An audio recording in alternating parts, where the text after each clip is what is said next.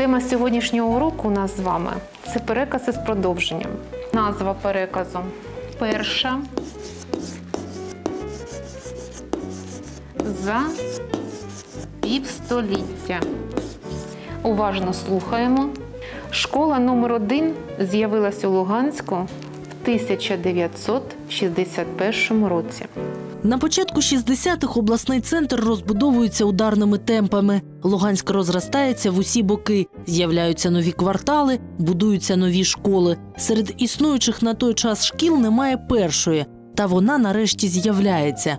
Новому учбовому закладу на вулиці Луганської правди надається номер 1. Втім, це не лише порядковий номер, а своєрідне зобов'язання школи завжди бути першою і кращою за всіма показниками. Я совершенно случайно попала 1 сентября 61 года на ме- мероприятие по открытию школы. Меня направили от Горану. Школа только-только начинала свою жизнь. Особых впечатлений, конечно, школа не производила, потому что это была новостройка. Ведь Все пришли сюда новенькие. Это ученики из рядом расположенных школ, которые целыми классами переводились в эту школу. Начинался период создания 11-летних школ высшей ступени. Пришел сюда после восьмого класса, закончив 17-ю, восьмилетнюю тогда школу. Во-первых, школы от школы отличались. Та была старее, это была новее. В той учился Брумель, а в этой еще знаменитости не появилось. Что касается вот первой школы, с моего класса, вот были две сестры, Валя и Надя Мигай, их девичьи фамилии. Вот Валя Ткаченко, Валентина, по-моему, Григорьевна, ректор сельхозуниверситета.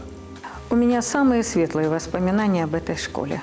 И знаете почему? Потому что там соблюдался главный воспитательный момент. Там не подавлялась личность человека, вот школьника. Было уважение к этой личности. И все мероприятия, которые носили там и воспитательный, и учебный характер, все было этому подчинено. Поэтому на уроках человек чувствовал себя э, очень-очень комфортно. И творческое проявление вообще личности школьника-человека было возможно. И я считаю, что это самое главное и в преподавании, и в воспитании человека. С 62 года стала работать учителем истории и обществоведения в этой школе. Она была обычной школой вот среди тех школ, которые начинали вот этот новый путь к 11-летнему обучению. Все было новое, заставляло учителей, коллектив искать различные методы совершенствования образования.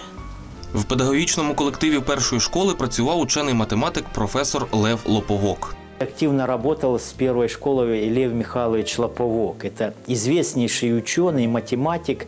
А известен он был э, не только в Луганске или в Украине, он известен был в Европе, во, всей, во всем мире.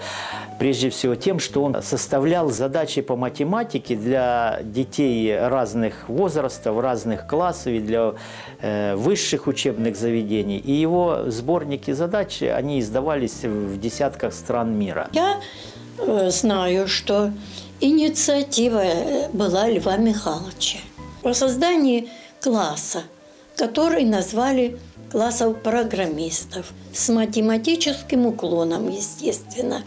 Лев Михайлович решил испробовать на практике свой учебник – Когда мы пришли в девятый класс, у нас математику вел профессор Лоповок. Это вообще замечательная личность. Вначале было очень трудно, потому что э, институтская манера преподавания, лекции, потом индивидуальные задания каждому ученику на контрольную давалась индивидуальная задача.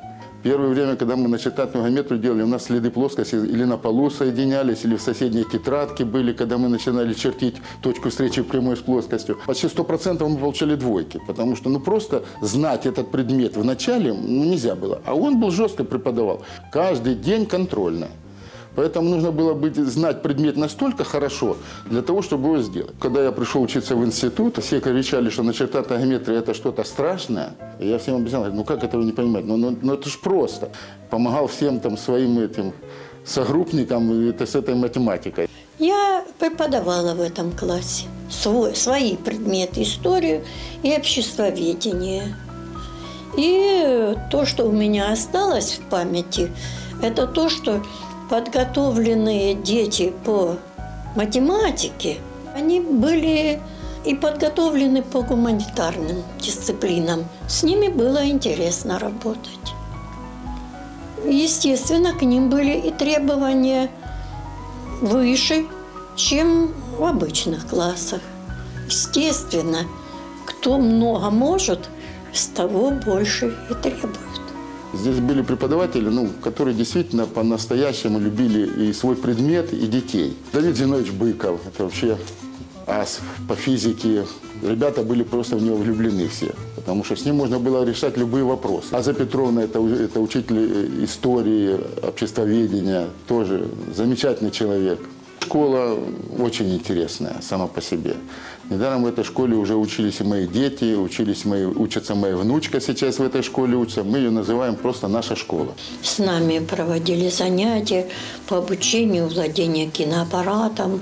К этому времени уже применялись проигрыватели.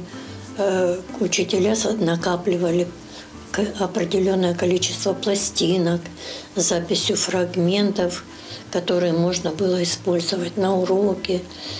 Это уже 70-е годы были. Когда пришли в эту школу, мы почувствовали совсем другую атмосферу, чем ну, в сравнении с другими школами. Здесь очень хорошее отношение было к ученикам. Дело в духе школы. Вот это главное, что было создано. Дух, атмосфера культурная, интеллектуальная. И в этой атмосфере, конечно, работают и растут и учителя, и ученики. Вот это главное. Самое главное, что чем школа отличается, что она не просто дает знания, она дает, ну, способна человека мыслить, анализировать. Пришел сюда, потому что меня заинтересовала идея становления школы как специализированной. И в этом был интерес мой. И для творчества, и для работы как учителя. Мы старались для того, чтобы школа приобрела э, имидж достойный, преподавание, чтобы было на висоті. З середини 70-х почався новий етап у розвитку першої школи. З 1978 року в спеціалізованих класах бажають учитись учні з інших шкіл міста. До моего прихода комплектовались специализированные классы из контингента этой школы. Потом мы ездили по области с Давид Зиновичем Быковым, агитировали идти в эти классы, Рассказывали о школе по всей области, ездили с ним. То через 3-4 года мы перестали это делать. Уже школа стала настолько известной, она приобрела свой индивидуальный портрет. Мы перестали агитировать, перестали рассказывать с тем, чтобы привлечь со стороны учащихся. Они шли сами. В эти классы дети шли специально для того, чтобы учиться. Более того, изучать физику. И не только физику, а углубленно изучать математику и другие предметы. Это вообще-то элитарного такого характера, интеллектуальная элита детская.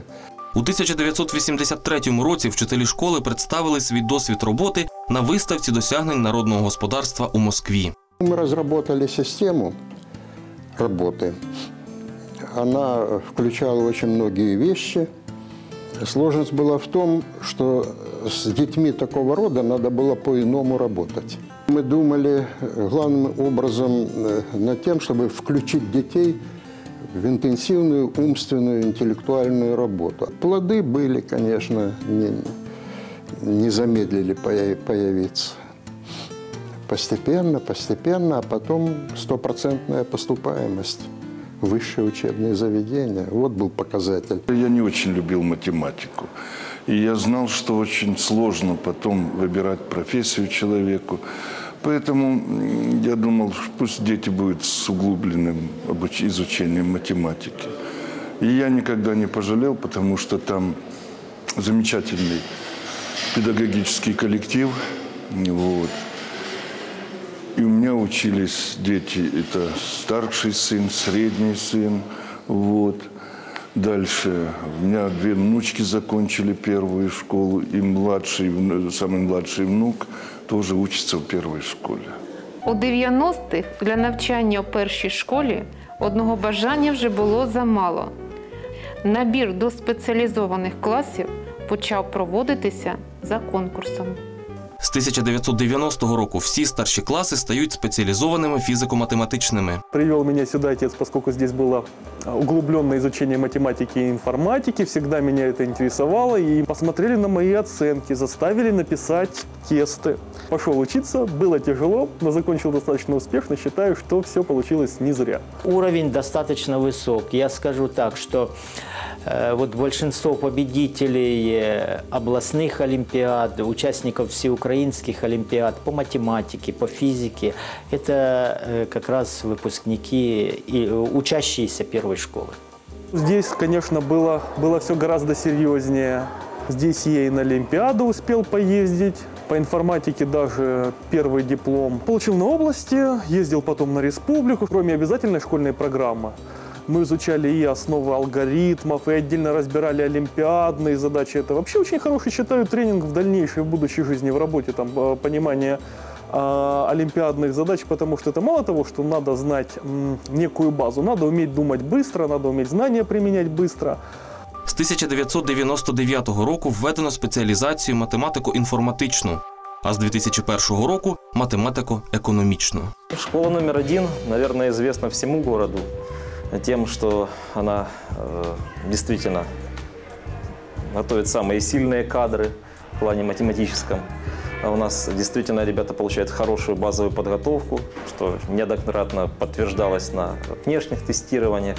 Ну, в общем-то, наших выпускников знают везде, даже за пределами Луганской области, в Киеве, в Харькове.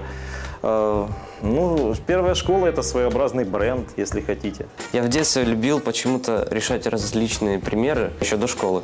Моей маме посоветовали перевести меня в первую школу, поэтому я здесь нахожусь.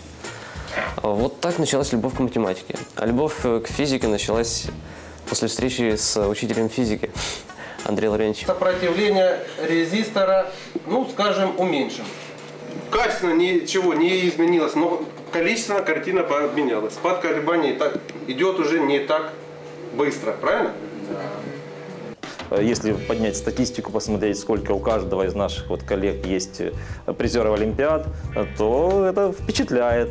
Можно даже сказать, что не только ж физики и математики нашей школы этим занимаются. Есть призеры э, областных Олимпиад по русскому языку и литературе, наши украиноведы. То есть все историки, все, в общем-то, стараются для своих детей что-то дать сверх того, что положено в школьной программе. Поэтому стараемся, чтобы школа звучала. В будущем это пригодится каждому ученику из моей школы. Если он собирается поступать в высшее учебное заведение, то это сто процентов э, сыграет э, очень большую и хорошую пользу для него. Наша школа предоставляет очень мощную и хорошую базу по всем предметам, что позволяет в будущем стать успешным. Мы организовали турнир на базе нашей школы, именно потому что хотели так, чтобы имя Льва Михайловича Лоповка не было забыто вот нынешними поколениями. Олимпиадное движение, э, скажем, на Луганщине, оно э, действительно э, ну, заслуживает внимания. Этому начало положил Лев Михайлович Лоповок, ну а мы его дело продолжаем. Наша школа очень долго добивалась того, чтобы э, получить вот такое высокое звание, иметь честь называться им- именем Льва Михайловича Лоповка. Вот это произошло буквально в прошлом году. Это, безусловно, большая для нас радость. Я горжусь тем, что учусь в этой школе, то, что я познакомился с такими прекрасными людьми, как мои учителя. Это честь. Это большая честь, это действительно большая честь. За півстоліття школа номер 1 нараховує 5 тисяч випускників, яких навчали 300 вчителів. Нагадаю вам, що сьогоднішнім завданням був переказ із продовженням. І, власне, зараз ви напишете, якою ви бачите нашу школу в майбутньому. Втім, писати продовження історії Луганської спеціалізованої школи імені Льва Лоповка своїми успіхами і досягненнями будуть ще тисячі учнів, які прийдуть навчатись в першу школу.